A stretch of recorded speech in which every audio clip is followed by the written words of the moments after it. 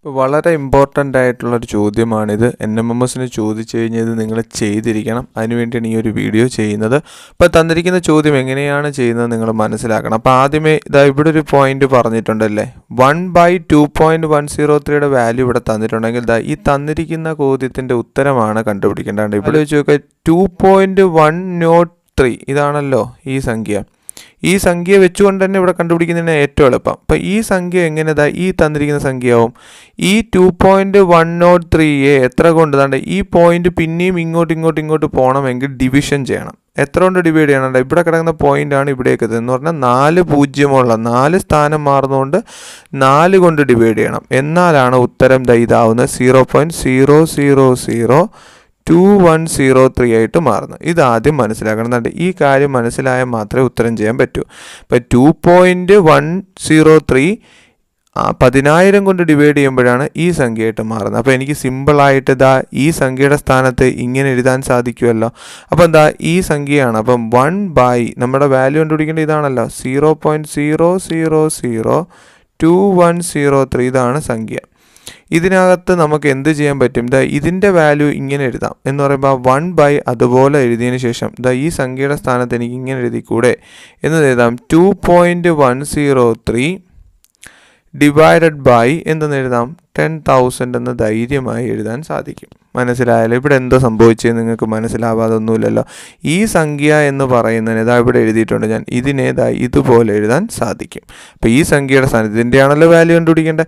അതിൽ ഈ സംഖ്യയുടെ സ്ഥാനത്ത് ഞാൻ അത് ഇതുപോലെ എഴുതി. അപ്പോൾ ഇതാ ഇത് മെയിൻ ഡിവിഷനാണ് ഈ കൊടുത്തിരിക്കുന്നത് നിങ്ങൾക്ക് അറിയുന്നതാണ് ഇത് വലിയ ഡിവിഷനാണ് അതിന്റെ താഴെ രണ്ട് സംഖ്യയുണ്ട്. ഫ്രാക്ഷൻ പോലെ. അപ്പോൾ ഇവിടെയും ഫ്രാക്ഷൻ പോലെ എഴുതാം. വൺ ബൈ വൺ എന്ന് എഴുതി. കണ്ടല്ലേ? ഇവിടെയും ഫ്രാക്ഷൻ വൺ ബൈ വൺ ഇവിടെ വേറെ സംഖ്യ. അത് നിങ്ങൾക്ക് മനസ്സിലാക്കാവുന്നില്ലല്ലോ അപ്പോൾ വൺ ബൈ വൺ ഇതാണ് ഇത് ഈ സംഖ്യയാണ് വൺ ബൈ വൺ ഇനി ഈ സംഖ്യ എന്തെന്ന് എഴുതാം? Into ten thousand by two point one zero three എന്ന് നിങ്ങൾക്ക് കിട്ടും. കേട്ടല്ലോ. അപ്പോൾ ഈ സംഖ്യ പി വണ്ണൊക്കെ എവിടെ നിന്നൊന്നും ഡൗട്ട് വേണ്ട. ഇവിടെ മേൽ രണ്ട് സംഖ്യ ഫ്രാക്ഷൻ പോലെ. അപ്പോൾ താഴെയും ഫ്രാക്ഷൻ ആക്കി. അത്രയേ ഉള്ളൂ. താഴെ ഫ്രാക്ഷൻ ഉണ്ടാക്കിയപ്പോൾ ഞാൻ മേലൊരു വണ്ണും കൂടി ഇട്ട് അതും ഫ്രാക്ഷൻ ആക്കി. ഇനി ഈ ഡിവിഷൻ മാറി അതിനെ തിരിച്ച് ഗുണിതമാക്കണമെങ്കിൽ ഈ താഴെ കിടക്കുന്ന സംഖ്യ തിരിഞ്ഞു വരും. അപ്പോൾ ഈ ഡിവിഷൻ മാറി ഇത് ഗുണിതമായപ്പോൾ ഈ സംഖ്യ തിരിയും. കണ്ടോ? ഇങ്ങനെയാണ് കിടക്കുന്ന സംഖ്യ തിരിഞ്ഞു വരും. അപ്പോഴാണ് ഈ ഗുണിതം എനിക്കിടാൻ പറ്റൂ. ഇനി നിങ്ങൾക്കറിയാം ക്വസ്റ്റ്യൻ ഇപ്പോൾ one divide by two point one zero ഈ സംഖ്യ എനിക്ക് എങ്ങനെ എഴുതാൻ പറ്റും? ഒരു സംശയം വേണ്ട. എനിക്ക് എഴുതി കൂടാണ്ട് one by two point one zero three എന്ന് എഴുതാൻ പറ്റും. ഇന്റു തൗസൻഡ് എനിക്ക് ധൈര്യമായിട്ട് എഴുതാൻ പറ്റും. അല്ലെ ടെൻ തൗസൻഡ് ആണ്. അല്ലേ ഈ വൺ ബൈ ഈ സംഖ്യ കൊടുക്കുന്നു. ഇത് തമ്മിൽ ഗുണിക്കുന്നതിനല്ലേ ഈ എഴുതിയേക്കുന്നത്? രണ്ട് ten thousand by two point one zero ten ten thousand into one ten thousand ten thousand by two point one zero three തന്നെയാണ് വരുന്നത്. അപ്പോൾ ഇതാ ഈ തന്നിരിക്കുന്ന വാല്യൂ എത്രയാണ്? നിങ്ങളൊന്ന് ആലോചിക്കണം നിങ്ങൾ ക്വസ്റ്റ്യനിലോട്ട് നോക്കുമ്പോൾ നിങ്ങൾക്കറിയാം. ഇതിന്റെ വാല്യൂ എത്രയാണ്? ഇതായി കൊടുത്തിട്ടുണ്ട്. എത്രയാണ്? Zero point four seven five five ആണ് ഇതിന്റെ വാല്യൂ ഇതാ തന്നിരിക്കുന്നതിന്റെ വാല്യൂ അതിനോട് എന്ത് ഗുണിക്കാനാണ് പറഞ്ഞേക്കുന്നത് പതിനായിരം ഗുണിക്കാനല്ലേ പറഞ്ഞേക്കുന്നത് ഞാൻ പോയിന്റ് ഫോർ സെവൻ ഫൈവ് ഫൈവിനെ പതിനായിരം കൊണ്ട് ഗുണിക്കുമ്പോൾ ഈ പോയിന്റ് മൂവ് ചെയ്ത് മൂവ് ചെയ്ത് ഇവിടെ വരും. ഇവിടെ four seven five five point എന്ന് വന്നു കഴിഞ്ഞാൽ ആ പോയിന്റ് കാണിക്കത്തില്ല. ഉത്തരം എന്ത് തന്നെയാണ്? ഫോർ സെവൻ ഫൈവ് ഫൈവ് ആണ് ഈ ക്വസ്റ്റ്യന്റെ ആൻസർ ആയിട്ട് വരുന്നത്. എത്ര പേർക്ക് ശരിയായെന്ന് എനിക്കറിയില്ല. അപ്പോൾ ഇതറിയാൻ വയ്യാത്തവരുതാണ്ട് ഈ സ്റ്റെപ്പ് എഴുതി പഠിച്ച് വെച്ചേക്കും. തന്നിരിക്കുന്നതാണ് രണ്ടാമത്തെ ചോദ്യം. ഈ how many numbers from one to two hundred ഒന്നിനും ഇരുന്നൂറിനും ഇടയിലുള്ള എത്ര സംഖ്യയുണ്ട് അത് നാലിനും മൂന്നിനെയും കൊണ്ട് ഹരിക്കാൻ കഴിയുന്നവ. അതാണല്ലോ ചോദ്യം. ഒന്നിനും ഇരുന്നൂറിനും ഇടയിലുള്ള കുറേ സംഖ്യയുണ്ടല്ലേ? നമുക്കറിയാം one two three four five എന്നൊക്കെ ഒരുപാട് സംഖ്യയുണ്ട്. അതിൽ എത്ര സംഖ്യയുണ്ട് നാല് കൊണ്ടും മൂന്ന് കൊണ്ടും ഹരിച്ചാൽ റിമൈൻഡർ സീറോ എന്നാണല്ലേ അർത്ഥം. പൂർണമായി ഹരിക്കാൻ കഴിയുന്ന എന്ന് വെച്ചാൽ നാലിലും മൂന്നിലും അടങ്ങുന്ന സംഖ്യ എന്ന് പറയുന്നത്. ഇപ്പോൾ നമുക്കൊരു എക്സാമ്പിൾ പറഞ്ഞാൽ പന്ത്രണ്ട് എന്ന് പറഞ്ഞ സംഖ്യ. അതെന്ത് ചെയ്യാൻ പറ്റും? മൂന്ന് കൊണ്ട് ഹരിച്ചാൽ ഉത്തരം കിട്ടും. പന്ത്രണ്ടിനെ നാല് കൊണ്ട് ഹരിച്ചാലും എന്ത് കിട്ടും? ഉത്തരവുണ്ട്. എന്ന് പറയുമ്പോൾ പന്ത്രണ്ട് എന്ന് പറയുന്ന സംഖ്യ നാലിലും മൂന്നിലും അടങ്ങുന്നതാണ്. അതുപോലെ എത്ര സംഖ്യ ഉണ്ട് എന്നാണ് ചോദ്യം. അപ്പോൾ ഈ ഒരു ചോദ്യം വന്നാൽ അല്ലാണ്ട് ഇങ്ങനൊരു ചോദ്യം. നാലിലും മൂന്നിലും അടങ്ങുന്നവ എന്ന് പറഞ്ഞാൽ അതിനുവേണ്ടി നാല് കൊണ്ട് മൂന്ന് കൊണ്ട് ഡിവിഷൻ ചെയ്ത് നോക്കേണ്ട ആവശ്യമില്ല. നാലിന്റെയും മൂന്നിന്റെയും എൽ സി എം എടുത്തു വെക്കണം. എന്തുവാ? ലെസാഗു അല്ലെങ്കിൽ എൽ സി എം ആണ് ഇവിടെ ഇമ്പോർട്ടൻസ് ലീസ്റ്റ് കോമൺ മൾട്ടിപ്പിൾ നാലിലും മൂന്നിലും അടങ്ങുന്നവ എന്ന് തന്നെ least common multiple common multiple എന്നുണ്ട്. രണ്ടിലും അടങ്ങുന്നവ. അതാണല്ലോ കോമൺ മൾട്ടിപ്പിൾ അപ്പോൾ നാലിന്റെ മൂന്നിന്റെ എന്ത് കണ്ടാൽ മതി? ഇങ്ങനൊരു ചോദ്യം വന്നാൽ നാലിലും മൂന്നിലും അടങ്ങുന്നവ എന്ന് ചോദിച്ചാൽ എൽ സി എം കണ്ടുപിടിക്കുക. അപ്പം നാലിന്റെ മൂന്നിന്റെ എൽ സി എം നമുക്കറിയാം എത്ര തന്നെയാണ്? നാലും ഒന്ന് മൂന്ന് എന്ന് വരും.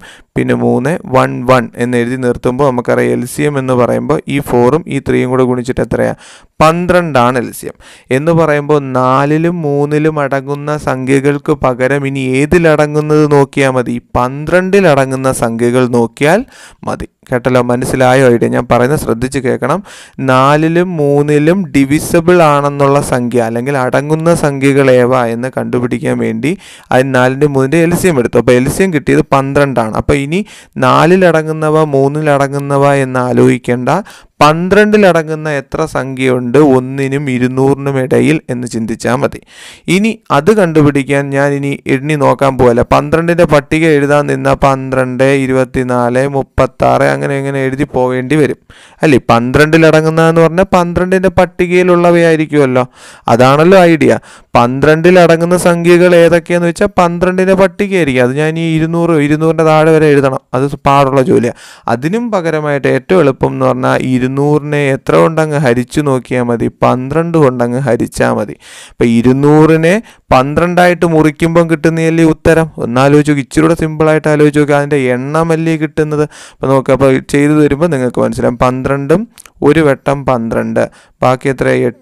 എൺപത്. എത്ര വട്ടം? ആറ് വട്ടമല്ലേ ആറ് രണ്ട് പന്ത്രണ്ട് എഴുപത്തി രണ്ട് ബാക്കി എട്ട്. എന്ന് പറയുമ്പോൾ പന്ത്രണ്ടിലടങ്ങുന്ന എത്ര സംഖ്യയുണ്ട്? പതിനാറ് സംഖ്യകളാണുള്ളത്. എത്ര സംഖ്യ? പതിനാറ് സംഖ്യകളാണ്.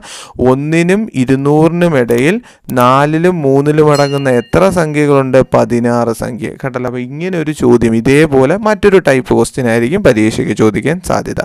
ഇങ്ങനത്തെ ചോദ്യങ്ങൾ എൻ എം എം എസിന് ചോദിച്ചുകൊണ്ടേ ഇരിക്കുന്നതാണ് ഇതിന്റെ ട്രിക്ക് ഞാൻ തന്നെ നിങ്ങളെ പഠിപ്പിച്ചിട്ടുണ്ട്. എന്റെ വീഡിയോസ് കാണാത്തവർക്ക് അറിയാൻ പറ്റില്ല ഈ ചോദ്യത്തിന്റെ ഉത്തരം. കണ്ടവർക്കറിയാം ഞാൻ എല്ലാ വീഡിയോസ് എൻ എം എം എസിന്റെ വീഡിയോസ് എല്ലാം ഒരേ പ്ലേലിസ്റ്റിലാക്കിയിട്ടുണ്ട് എൻ എം എം എസിന്റെ പ്ലേലിസ്റ്റ് തപ്പിയാൽ മതി. ഇതിനകത്ത് ഇതൊക്കെ ഉണ്ട്. അപ്പോൾ ഈ ചോദ്യത്തിന്റെ ഉത്തരം എങ്ങനെയാണ് ചെയ്യുന്നത് നോക്കിയാണ് ഫോർട്ടീൻ മെൻ പതിനാല് ആണുങ്ങൾക്ക് പതിനെട്ട് ദിവസം മതി ഒരു ജോലി തീർക്കാൻ. അങ്ങനെയാണെങ്കിൽ പന്ത്രണ്ട് ആണുങ്ങൾക്ക് എത്ര ദിവസം എടുക്കും എന്നാണ് ചോദ്യമെങ്കിൽ എന്തോ നിങ്ങൾക്ക് ഐഡിയ ഞാൻ പറഞ്ഞ. M one D one is equal to M two D two ഇവർ രണ്ടുപേരും ഈ രണ്ട് കാര്യങ്ങളും പതിനാല് ആണുങ്ങൾ പതിനെട്ട് ദിവസം കൊണ്ട് ചെയ്യുന്ന ജോലിയെല്ലാം ഒരേ ജോലി ആയതുകൊണ്ടാണ് ഇങ്ങനെ ഈക്വൽ ടു ഇട്ട് എഴുതാനുള്ള കാരണം എന്ന് മനസ്സിലാക്കിയാൽ മതി. വളരെ സിമ്പിളായിട്ട് പറഞ്ഞാൽ പതിനാല് ആണുങ്ങൾ പതിനെട്ട് ദിവസം കൊണ്ട് ചെയ്യുന്നത് കണ്ടോ? ഇതാണ് എം വൺ ഇതാണ് എന്ത് ഡി വൺ അടുത്ത പന്ത്രണ്ട് ആണുങ്ങൾക്ക് എത്ര ദിവസം എടുക്കുമെന്നാണ് ചോദ്യം. കണ്ടോ ഡി ടു ആണ് നമ്മൾ എത്ര ദിവസം എന്നുള്ള ഡി ടു ആണ് കണ്ടുപിടിക്കുന്നത്. അതാണ് ഈ ക്വസ്റ്റ്യൻ മാർക്ക് ഈ ക്വസ്റ്റ്യൻ മാർക്ക് കണ്ടുപിടിക്കുന്നത് ഇന്റു ചെയ്ത പന്ത്രണ്ട് ഇപ്പുറത്തോട്ട് ഡിവിഷൻ ചെയ്താൽ മതിയല്ലോ അപ്പം ഡേ കണ്ടുപിടിക്കണം. എത്ര ഡേയ്സ് ആണെന്ന് കണ്ടുപിടിക്കാനായിട്ട്? പതിനാല് ഇന്റു പതിനെട്ട് ബൈ പന്ത്രണ്ട് ചെയ്താൽ മതി. നിങ്ങൾക്കറിയാം ഇതിനിപ്പോൾ എന്ത് ചെയ്യാം? ഇതാണ്ടേ ഇത് ആറിന്റെ പട്ടികയിലുണ്ട്. മൂന്ന് കൊണ്ട് ഡിവൈഡ് ചെയ്തു. ഇത് ആറിന്റെ പട്ടികയിലുണ്ട്. രണ്ട് കൊണ്ട് ഡിവൈഡ് ചെയ്യാം. ഇതാണ്ട് ഈ രണ്ട് കൊണ്ട് ഈ പതിനാലിന് ഡിവൈഡ് ചെയ്യാം. ഏഴ് ഏഴ് മൂന്ന് ഇരുപത്തി ഒന്ന് ദിവസം എടുക്കത്തേ ഉള്ളൂ. കണ്ടോ? ഞാൻ ഡിവിഷൻ ഒന്നും ചെയ്യാൻ പോയില്ല. ജസ്റ്റ് വെട്ടി ചെയ്തതാണ്. ഒന്നും കൂടെ ഒന്ന് പറഞ്ഞുതരാം. പതിനെട്ടിന്റെ പട്ടികയിൽ പതിനെട്ടിലും പന്ത്രണ്ടിലും അടങ്ങുന്ന ഏതുണ്ട്? ആറ്. അപ്പോൾ ആറ് മൂന്ന് പതിനെട്ട് ആറ് രണ്ട് പന്ത്രണ്ട്. ഇനി ഈ രണ്ടും ഈ പതിനാലും തമ്മിൽ ഡിവൈഡ് ചെയ്താൽ എന്ത് കിട്ടും? ഏഴ് ഏഴ് മൂന്ന് ഇരുപത്തൊന്നാണ് ഈ ചോദ്യത്തിന്റെ ആൻസറായി തന്നിരിക്കുന്ന മറ്റൊരു ചോദ്യമാണ്. ചോദ്യത്തിന്റെ വലിപ്പം കണ്ട് ചോദ്യം ചോദിക്കില്ല എന്ന് വിചാരിക്കേണ്ട ഇതുപോലത്തെ ഒരു ചോദ്യം രണ്ടായിരത്തി ഇരുപതിൽ കഴിഞ്ഞ വർഷം ചോദിച്ചിട്ടുണ്ട്. ടോട്ടൽ നമ്പർ ഓഫ് ഫാക്ടേഴ്സ് ഘടകങ്ങൾ എത്രയുണ്ട്? ചോദിക്കും. വളരെ ഇമ്പോർട്ടന്റ് ചോദ്യമാണ്. യു എസ് എസിനും ചോദിക്കുന്ന ഏറ്റവും വലിയൊരു ചോദ്യമായത് നിങ്ങൾ കണ്ടിട്ടുണ്ടായിരിക്കും. അപ്പം എഴുപത്തിരണ്ടിന്റെ ഫാക്ടർ എന്തുവാണ് ഫാക്ടർ എന്ന് വെച്ചാൽ ഇപ്പം ഒമ്പത് ഇന്റു എട്ട് ചെയ്താൽ എഴുപത്തിരണ്ട് കിട്ടുമെന്ന് മനസ്സിലായി. എന്ന് പറയുമ്പോൾ ഒമ്പതും ഫാക്ടറാണ് എട്ടും. ഫാക്ടറാണ് അപ്പോൾ ഒമ്പതും എട്ടും എന്താണ് ഘടകങ്ങളാണ്. അതുപോലെ എഴുപത്തിരണ്ടിന് എത്ര ഘടകങ്ങൾ? ഇപ്പം ഈ ഒമ്പതും എട്ടും ഫാക്ടറാണ് എന്തുകൊണ്ടാണ് ഒമ്പതും എട്ടോട് ഗുണിച്ചപ്പോഴാണ് എഴുപത്തിരണ്ട് കിട്ടിയത്. അപ്പം അങ്ങനെ എഴുപത്തിരണ്ടിന് എത്ര ഫാക്ടർ ഉണ്ടെന്ന് കണ്ടുപിടിക്കാൻ പറഞ്ഞു. അതിനെല്ലാം നമ്മൾ പട്ടിക ചൊല്ലി ചൊല്ലി ചെയ്യാൻ പറ്റുമോ ഇല്ല. എഴുപത്തിരണ്ട് കിട്ടുന്ന ഇനി ഏതൊക്കെ പട്ടിക ഉണ്ടെന്ന് ചൊല്ലി കണ്ടുപിടിക്കാതിരിക്കാൻ വേണ്ടി എളുപ്പമാർഗം എന്ന് പറഞ്ഞാൽ എഴുപത്തിരണ്ട് ഇതാ ഇതുപോലെ ഫാക്ടർ ചെയ്യുക. എഴുപത്തിരണ്ട് പാതി മുപ്പത്താറ് അല്ലേ മുപ്പത്താറ് ഇന്റു രണ്ട് എഴുപത്തിരണ്ട്. അടുത്തത് മുപ്പത്താറ് എത്ര വട്ടം? പതിനെട്ടല്ലേ? പതിനെട്ടും രണ്ട് മുപ്പത്താറ്. അടുത്ത രണ്ട് വട്ടം ഉണ്ടല്ലോ എത്ര? ഒമ്പത്. അടുത്ത എത്ര വട്ടം? മൂന്നും മൂന്നും. ഇതാണ്ട് ഇത്ര എഴുതാൻ നിങ്ങൾക്ക് അറിയാമെന്ന് വിശ്വസിക്കുന്നു. എന്നിട്ട് ഈ എഴുപത്തിരണ്ടിനെ അപ്പോൾ നമുക്ക് എങ്ങനെ എഴുതാം? ദാ ഈ എഴുതിയേക്കുന്ന സൈഡിലെ പ്രോഡക്റ്റ് ആയിട്ട് എഴുതാമല്ലോ two into two into two into three into three എന്ന് എഴുതാൻ സാധിക്കും. ഒരു സംശയവും വേണ്ട. ഈ ഈക്വൽ ടു. ഇതിൽ എത്ര ടു ഉണ്ട്? ടു റേസ് ടുവിൽ എഴുതണം. ടു റേസ് ടു ത്രീ ആണ്. ഇന്റു ഇത് ത്രീ റേസ് ടു ടു ആണ്. ഇത്ര എഴുതാൻ പറ്റുമല്ലോ.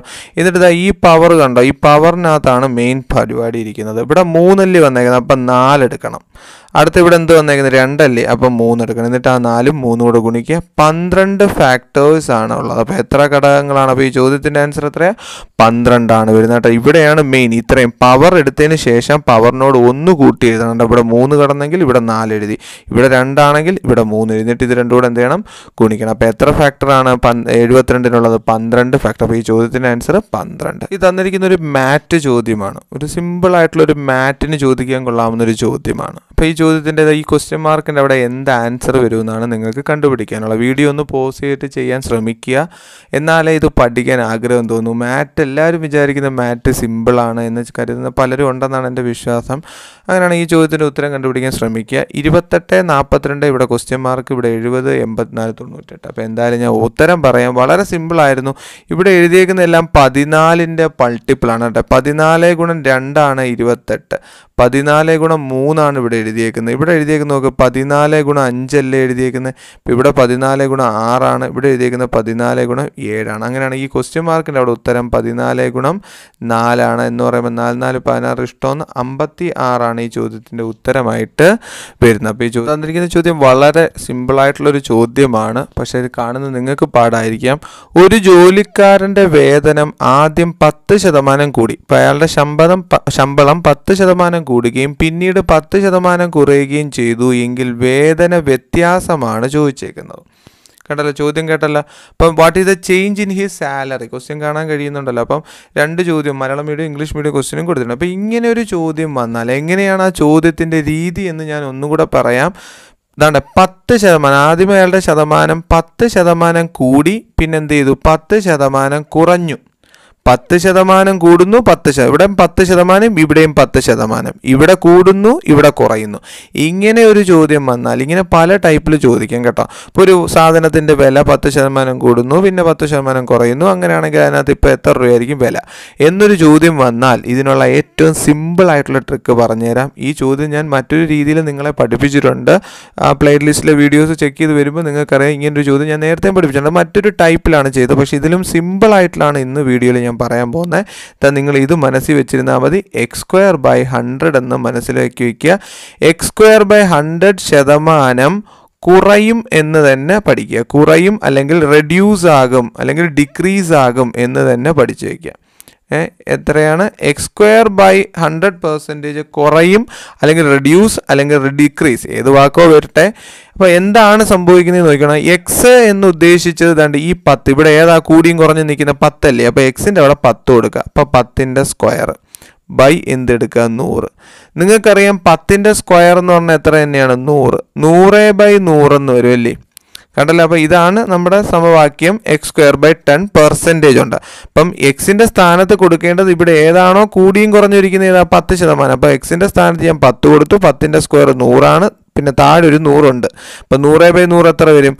വൺ അതിന്റെ കൂടെ ഈ പെർസെന്റേജ് ഇല്ലേ? അപ്പോൾ ഒരു ശതമാനം കുറയും. എന്ത് ചെയ്യും? ഒരു ശതമാനം കുറയും എന്നതാണ് ഈ ക്വസ്റ്റ്യന്റെ ഉത്തരം. വൺ പെർസെന്റേജ് ഡിക്രീസ്ഡ് എന്നോ വൺ പെർസെന്റേജ് റെഡ്യൂസ്ഡ് എന്നോ വരും ഈ ചോദ്യത്തിന്റെ ഉത്തരമായിട്ട് വരും. വളരെ സിമ്പിളായിട്ട് ഇതങ്ങ് പഠിച്ചു വെച്ചാൽ x square by ten percentage നോക്ക് x square by hundred percentage കുറയും എന്ന് പഠിക്കുക. എക്സിന്റെ ഈ ചോദിക്കുന്ന ചോദ്യം വളരെ ഇമ്പോർട്ടന്റ്. ആണ് ഞാൻ മലയാളം മീഡിയം ഒന്നും എഴുതിയിട്ടില്ല. ഒരൊറ്റ ഇംഗ്ലീഷ് മീഡിയം ക്വസ്റ്റ്യൻ എഴുതിയിട്ടുള്ളൂ. മലയാളം മീഡിയം ക്വസ്റ്റ്യനും ഇത് തന്നെയായിരിക്കും. പ്ലസ് എന്നാൽ ഡിവിഷൻ ഡിവിഷൻ എന്നാൽ പ്ലസ് മൈനസ് എന്നാൽ ഇന്റു ഇന്റു ഇന്റു എന്നാൽ പ്ലസ്. അങ്ങനെയാണെങ്കിൽ ഇതാ ഈ തന്നിരിക്കുന്ന ചോദ്യത്തിന്റെ ഉത്തരം ചെയ്യാം. ബോർഡ് മാസ് ക്വസ്റ്റ്യൻ ആണെന്ന് നിങ്ങൾക്കറിയാലോ. അപ്പോൾ ഈ പ്ലസിന്റെ സ്ഥാനത്ത് മാറ്റണം. എന്തെന്ന് എഴുതാവൂ ഡിവിഷൻ അപ്പോൾ ക്വസ്റ്റ്യൻ എന്താ ഇങ്ങനെ മാറ്റി എഴുതണം.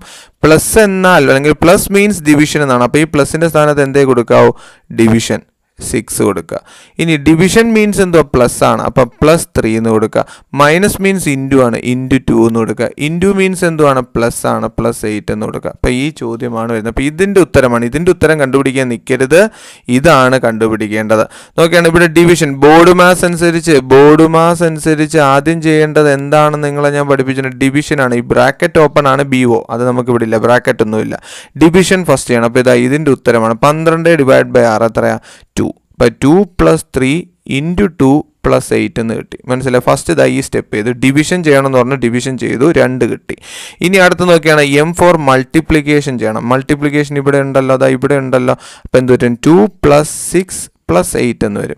ഇനി എന്തേ ഉള്ളൂ? രണ്ടും ആറും എട്ടും കൂടെ കൂട്ടാനല്ലേ? ആറെട്ട് പതിനാല് പതിനാല് രണ്ടും പതിനാറാണ് ഈ ചോദ്യത്തിന്റെ ഉത്തരമായിട്ട് വരുന്നത്. ഇന്നത്തെ വീഡിയോ ഇഷ്ടപ്പെട്ടിട്ടുണ്ടെങ്കിൽ ലൈക്ക് ചെയ്യാൻ മറക്കരുത്. പഴയ വീഡിയോസ് ഒന്നും കാണാത്തവർ കാണുക. ലിങ്ക് ഡിസ്ക്രിപ്ഷനിൽ കൊടുത്തിട്ടുണ്ട്.